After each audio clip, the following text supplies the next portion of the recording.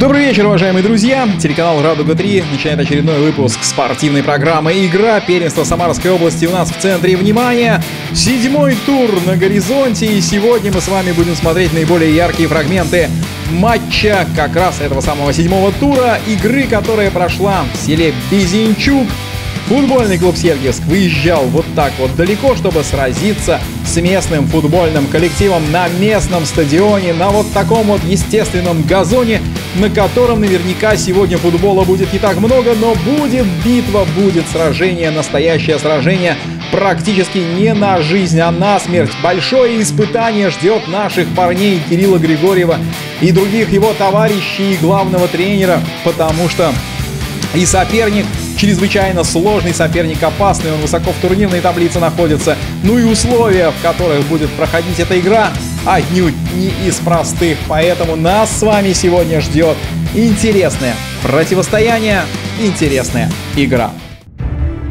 Но по традиции перед началом рассказа о матче давайте посмотрим на положение команд турнирной таблицы. После шести проведенных матчей Ника из Большой Глушицы идет без потерь 18 баллов. Звезда из Хворостянки рядом 16 очков в активе. Ну и Луч из Красного Яра имеет одно поражение в пассиве и Безинчук на четвертой позиции. 10 очков.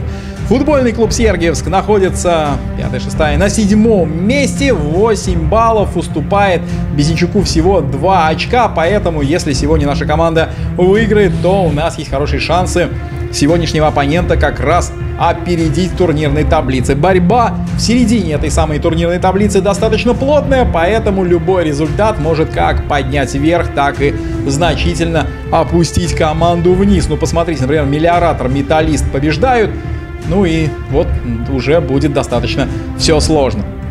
Состав футбольного клуба Сергис на данное противостояние, он неизменный по сравнению с игрой с с металлистом из Челвершинского района. Евгений Кузнецов выставил тех же самых футболистов, изменив только двух игроков по позициям. Итак, Николаев в воротах номер 33, полевые игроки 23 Григорьев, 99 Максим Корягин, 50 Павел Купряев, 5 Илья Александров, в полузащите 10 Максим Якушев, 9 Сергей Махов, 17 Игорь Камайкин, Владимир Сазонов, номер 14 он справа в полузащите сегодня будет играть, а вот Илья Чекванов переместился на позицию нападающего, он под номером 19. Ну и рядышком Андрей Петров, он капитан команды. Итак, стартовый свисток прозвучал, друзья, и игра началась. Состоялась она 22 июня на местном стадионе в селе Безенчук. Хозяева поля вышли на стадион, на газон в форме голубого цвета и их владение слева по телевизионному экрану. Андрей Петров на ваших экранах был, а это Александр Николаев, наш коллектив в желто-зеленых футболках и наша половина поля правая в первом тайме, так что будем надеяться, что вот наше дело правое, и мы к победе побежим, ну не знаю как побежим. Владимир Сазонов пока не выказывает какого-то особого стремления идти вперед, ну потому что и мяч до него пока не доходит, а вот футболисты из Безинчука на первой же минуте организовали вот такой вот выпад, и Александр Николаев оказался в нужном месте, в нужное время, и именно действия 33-го номера сейчас спасли нашу команду от верного гола. Да, конечно, ему нужно было просто руку, как говорится, вытянуть и достать этот мяч, но среагировать ведь было необходимо.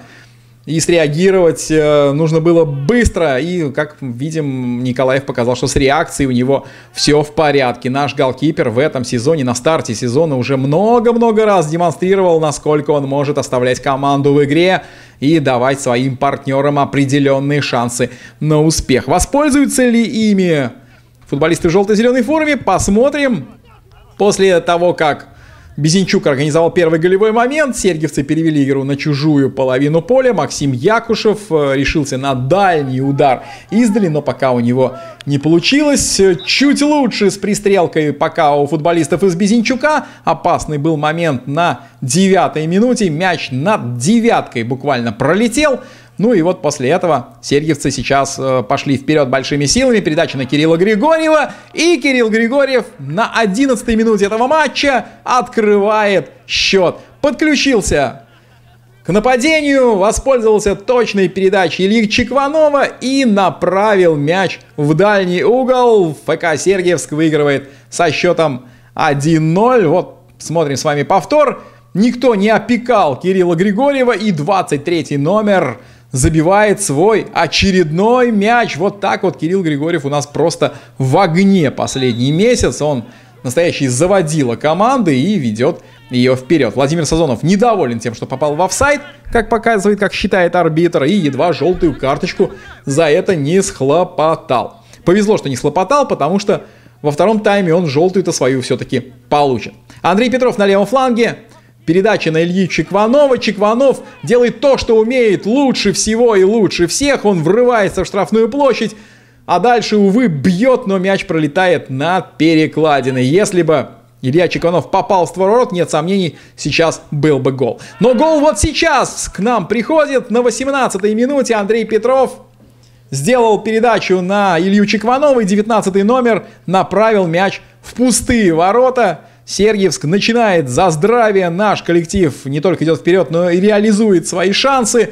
И уже 2-0. Здесь защита Безенчука просто зевнула, зевнула. Рывок 19 номера. Илья Чекванов доводит преимущество футбольного клуба Сергиевск уже до двух мячей. Сейчас передача на Владимира Сазонова, но вот здесь вот, увы, Владимир Сазонов как раз стремился на Андрея Петрова мяч довести, но защитники Безенчука прервали эту самую передачу. Что же Безенчук? 0-2 он проигрывает, мы выигрываем, и поэтому сейчас футболисты в голубой форме пошли большими силами вперед. Удар головой последовал на мяч выше перекладины, снова пролетел. Жара страшнейшая, жара над стадионом, ну и вообще в Безенчуке, да и вообще в Самарской области была 22 июня, поэтому редкие облака, Благо для футболистов, ну а палящее солнце, конечно, доставляло больших проблем. Безенчукцы снова идут вперед, и вот здесь вот в столкновении с э, футболистом хозяев Александр Николаев получает повреждение, тут же повреждение получает еще и Владимир Сазонов, и если Николаев поднялся сам, то Владимиру Сазонову пришлось оказывать помощь со стороны врачей, но все-таки 14 номер также игру продолжил, а вот Николаев у нас получил достаточно серьезное повреждение, и оставшуюся половину и первого тайма, и второго тайма номер 33 проводил уже с небольшой травмой.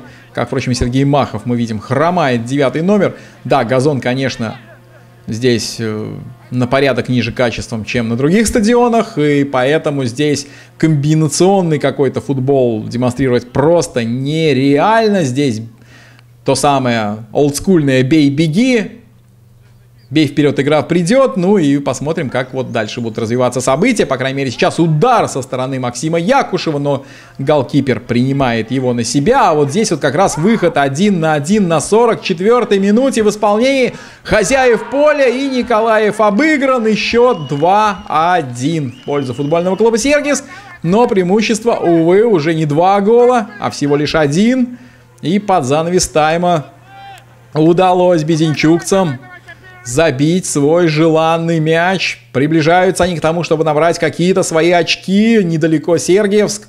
Минимальное преимущество нашей команды. Ну и вот на этом первый тайм у нас, друзья, завершен. Сергиевск выигрывает, но только уже 2-1. Продолжаем, друзья, рассказ о наиболее интересных фрагментах матча седьмого тура первенства Самарской области по футболу среди команд муниципальных районов. Футбольный клуб Сергиевск в Безинчуке против местной команды. 2-1 мы выигрываем после стартовых 45 минут. Первый гол на счету Кирилла Григорьева. Дальше забил мяч Илья Чекванов. Все это было в стартовые 20 минут. Ну а затем на последней минуте безинчукцы Мяч один отыграли в быстрой контратаке. Выбежал игрок один на один, переиграл Николаева и направил мяч точно в цель в наши ворота. 2-1, преимущество не такое большое достаточно скользкий результат, поэтому сейчас надо идти вперед и большими силами. Сейчас Сергей Махов, передача на Андрея Петрова, но Петров офсайд залез, и судья здесь уже дал свисток, после которого восьмерка наносила удар. Капитан команды ведет свою команду вперед, ну а сейчас вот футболисты Безинчука уже перешли на нашу половину поля, несогласованные действия между Николаевым и защитником едва не привели к большущим неприятностям, но наше, на наше счастье все-таки не привели. Ну а это удар не опасный, Безенчукцы били из-за пределов штрафной площади, но Николаев с мячом выбивает его в поле, и снова в очередной раз мы констатируем, что выбивает он его не туда, куда хотелось бы его партнерам. Опасный был сейчас навес, но защитники Безенчука справились. И мяч уже в центре поля, и мы наблюдаем вот ту самую борьбу. Борьбу, где комбинационный стиль не приветствуется. При первой же возможности вот так вот нужно бить, направлять мяч вперед. Сейчас Максим Якушев был на острие, да, десятка, но мяч у нее выбили, и Максим Якушев не смог продолжить нападение. А здесь вот выше всех выпрыгнул Андрей Петров, и Андрей Петров замыкал эту передачу, но мяч также выше цели пролетел. Здесь навеса стандартно, но голкипер на месте и выбивает мяч подальше. И вот такой вот стиль нападения у безинчукцев. Сейчас посмотрим, справятся ли с ним наши футболисты. Да, большими силами все-таки удалось этих бегунков-то прервать. И сергиевцы начинают очередное нападение. Последовала подача, подача, которая, да, адресата не дошла, а вот здесь вот выход один на один, и снова наша оборона играет не лучшим образом, ворота пустые, 2-2. 2-2 счет этого матча, снова игрок Безенчука убежал в отрыв, и на 53-й минуте восстанавливает равновесие в счете. Хозяева реализовали две своих попытки, великолепным образом их ре реализовали, и счет уже ничейный. Вот так вот имели мы достаточно уверенное преимущество, которое, увы, растранжирили. Что же будет дальше? Давайте смотреть. Играть еще очень много, и такое ощущение, что первые минуты после того, как счет стал 2-2, наши футболисты выглядели деморализованными.